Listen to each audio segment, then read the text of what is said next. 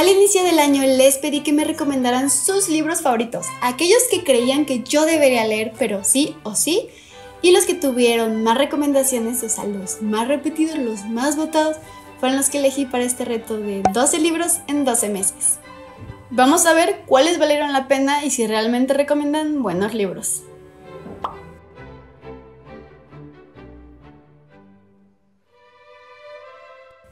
12 libros en 12 meses ha sido de mis retos favoritos y definitivamente lo voy a repetir para el 2023. Así que síganme en mis redes sociales, sobre todo en Instagram, porque ahí voy a estar publicando muy pronto una cajita donde ustedes me van a poder poner los libros que definitivamente me recomiendan leer. Los que más se repitan serán los 12 que voy a elegir para leer a lo largo del 2023. Y es que honestamente las recomendaciones que me hicieron para este 2022 estuvieron buenísimas. Muchos de estos libros se llevaron 5 estrellas y se convirtieron en mis libros favoritos del año. Otros estuvieron bastante me o no me encantaron, pero bueno, hay de todo un poco. Y de todos estos libros estaremos hablando un poquito más adelante. Antes me encantaría agradecerles por todas sus recomendaciones, porque siento que yo nunca me hubiera atrevido a leer varios de estos libros si no hubiera sido por ustedes. Yo sentía que no me iban a encantar y resultó que me sorprendieron bastante.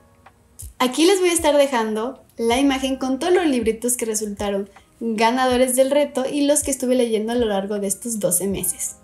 Y les iré hablando un poquito de ellos y si me gustaron o no, para que ustedes puedan ver si vale la pena o no leerlos.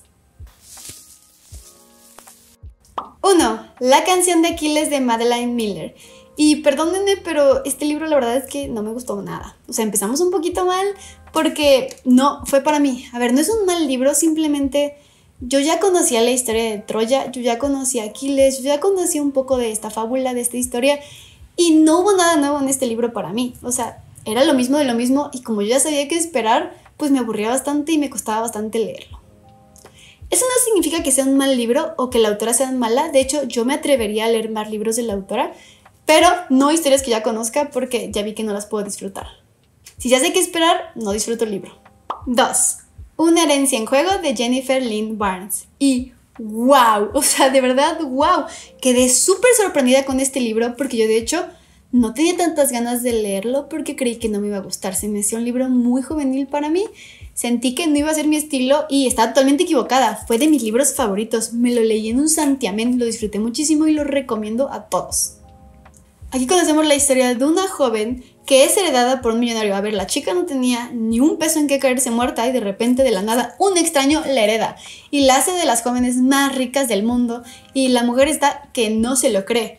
Y la familia del millonario está que la quiere ahorcar porque tampoco se lo cree, están muy indignados, no entienden qué pasó. Y la verdad es que nadie entiende por qué la chica fue heredada. O sea, la chica dice, pero es que yo ni siquiera lo conocía, no lo entiende. Pero conforme vas avanzando en la historia te vas dando cuenta que puede que las vidas de todas estas personas estén involucradas de maneras que no sabemos. O sea, la verdad es que todo el libro es un acertijo. Una herencia en juego se llevó 4 estrellas de 5, me fascinó, estuvo muy bueno, definitivamente lo recomendaría y quiero leer el tercer libro para saber qué va a pasar. ¿Cómo va a finalizar esta bella historia? 3. Such a Fun Age de Kylie Reid. Un libro que toca un tema bastante importante que es el racismo, pero la verdad es que es bastante plano y por momentos aburrido. A ver, o sea, sí, una parte de mí dice, es que pues deberían leerlo, pero la otra parte dice, Ay, es que es un poco tedioso y muy plano y no pasan tantas cosas. Y la verdad es que es un libro que se olvida muy fácil. O sea, yo lo leí en este año y les puedo decir que ya no me acuerdo ni la mitad de lo que pasa, solo me acuerdo de lo básico. Aquí conocemos la historia de Mira, una niñera que se ve atrapada en una situación bastante fea. Un día la llaman de emergencia mientras ella estaba en una fiesta para que pase a la casa de sus jefes a cuidar de la pequeñita de la casa. Ella decide llevársela al supermercado en lo que sus papás acaban de pelearse o resolver algunos asuntillos para entretener a la niña y que no los escuche peleando. Pero las cosas salen muy mal porque Emira es acusada de haber robado a la niña esto es debido a que su color de piel no es el mismo que la pequeñita. Y pues las cosas se ponen muy feas muy rápido y obviamente que esta situación es bastante fea. O sea, tú sabes que la chica no tendría que pasar por eso ni dar explicaciones de soy la niñera, no me roba la niña, la mamá ya viene. O sea, Emira tuvo que llamar a la mamá para que viniera a sacarla de este embrollo. Y a pesar de que sí es una bella historia que te trae una enseñanza, siento que el libro no es para todos, porque es bastante lento, pues, o sea, no es tan entretenido de repente, no es tan dinámico, por momentos es un poco tedioso de leer. 4. Rojo, Blanco y Sangre Azul de Casey McKinston. Un bello romance que agrandó mi corazón. De hecho, va a salir muy pronto su adaptación. Estoy esperándola con muchas, muchas, muchas ansias porque es un libro de romance que te saca varios suspiros. Ya quiero ver cómo traspasan eso a la pantalla grande. Aquí conocemos a dos chicos.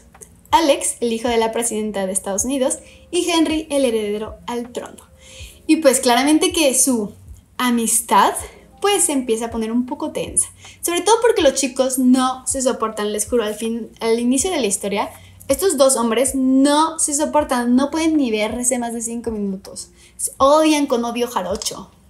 Pero tienen que cambiarle esta percepción al mundo, ya que son los hijos de grandes líderes de diferentes países, por lo cual se tienen que llevar bien. O al menos el mundo tiene que pensar eso. Así que ahora tienen que convivir más para fingir que son los mejores amigos del alma.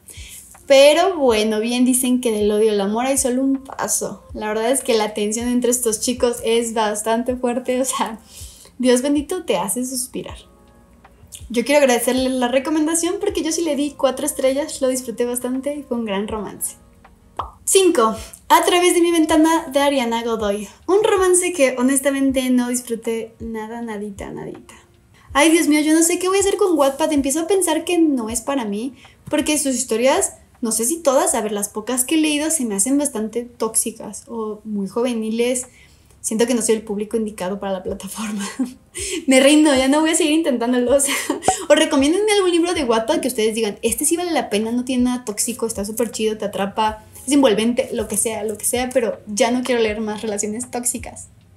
Y bueno, es que aquí conocemos la historia de una chica, que la verdad no recuerdo bien cómo se llamaba, pero tiene sus vecinos que son súper guapos y tienen nombres griegos y tienen nombres de dioses y wow, la vida. Y el chico le roba la contraseña de Wi-Fi y así empiezan a platicar, pero resulta que la chica llevaba acosando a este chico por años porque estaba súper enamorada de él.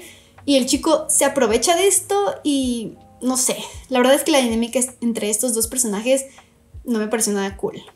No sé, mejor déjenme en los comentarios ustedes qué opinan acerca de este libro, si les gusta o no la relación que tienen los personajes, si les gusta o no el libro qué les parece, si creen que estoy muy grande para leerlo y por eso no me gusta, o qué pasó aquí, pero yo no lo disfruté.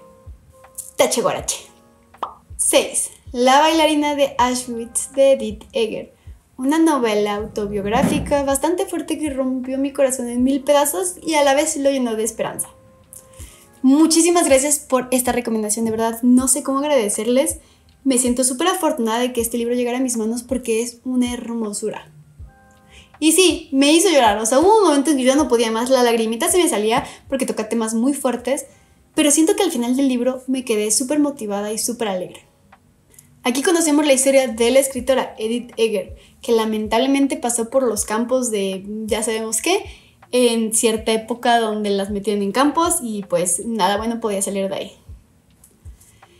Y obviamente que mientras lo lees, pues ya sabes el desarrollo de las cosas, sabes que muchísima gente falleció en ese hecho y es muy difícil leer a un superviviente y cómo tuvo que vivir su vida después de todo esto, porque para ella lo más difícil fue el después, no el durante. El durante ya estaba enfocada en sobrevivir y hacer lo necesario. Pero una vez que todo esto terminó, pues no se llevó con eso el dolor. O sea, el dolor continuó dentro de ella y fue bastante difícil para ella seguir viviendo. Y siento que este libro viene a enseñarte que no importa lo que te pase en la vida, lo importante es cómo reaccionas a ello. Yo saqué miles de frases motivacionales de este libro, está cañón. Porque les juro que trae miles de millones de enseñanzas. Esos libros que todo mundo debería leer.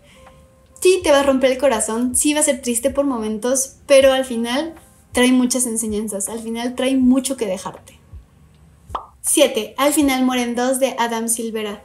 Un libro que no me gustó nada, perdónenme la vida, no fue para mí. A ver, no es un libro, de hecho, la trama me pareció súper interesante, yo moría de ganas de leerlo y cuando me lo recomendaron me alegré porque dije, sí, es mi pretexto para ahora sí leerlo.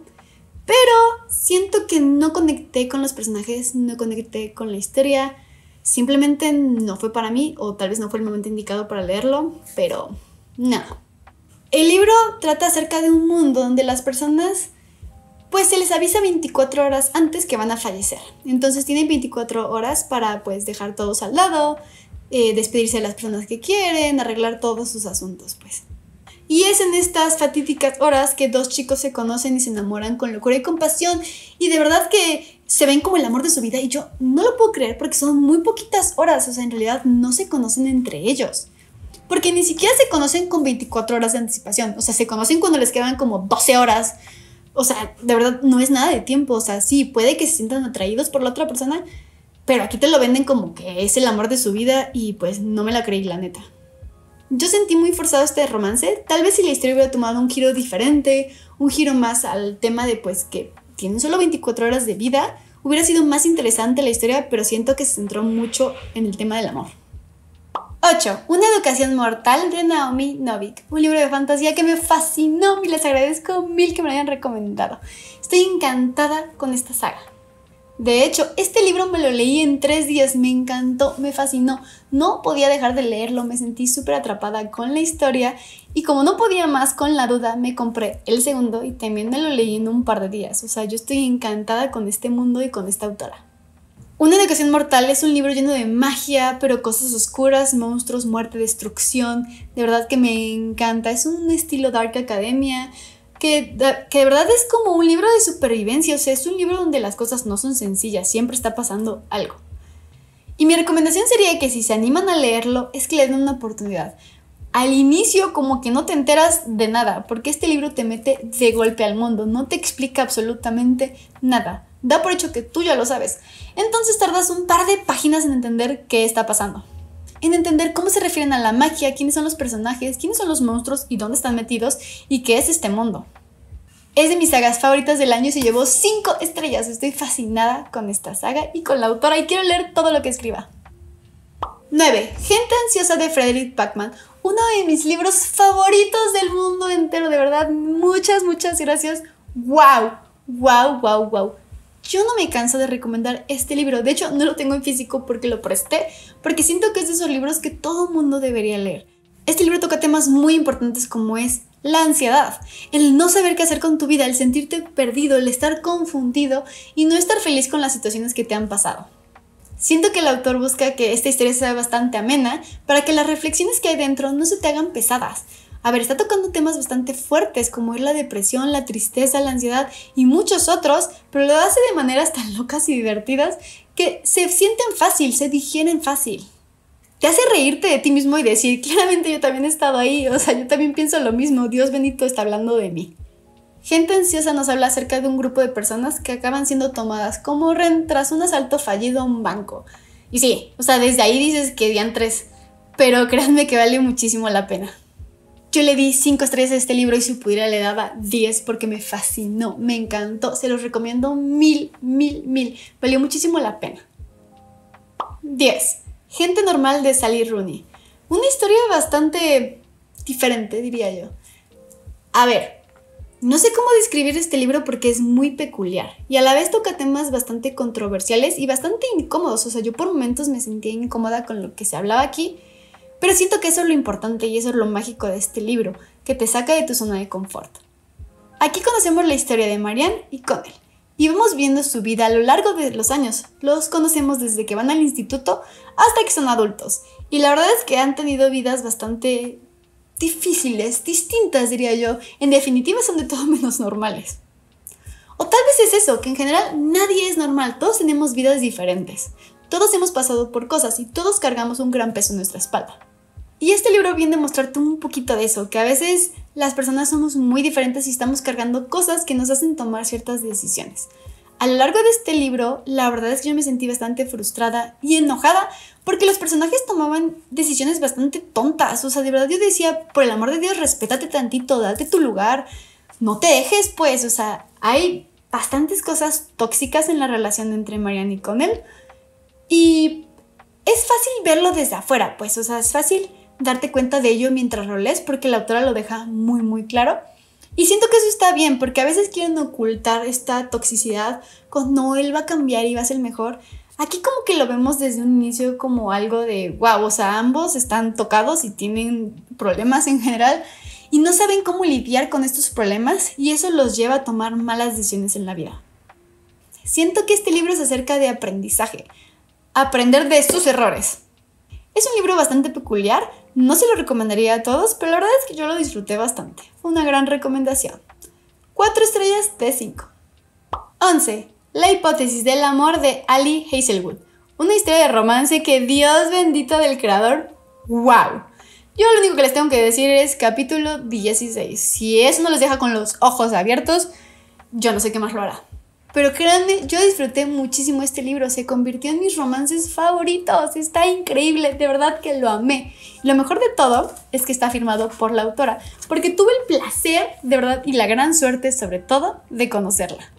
Aquí les dejo una fotito mía con ella porque yo la amé. Aquí conocemos la historia de Olive, una científica que está estudiando su doctorado y tiene que fingir una relación con uno de sus profesores, Adam. Bueno, en general él no era su profesor, pero era un profesor de la universidad, pues era más grande.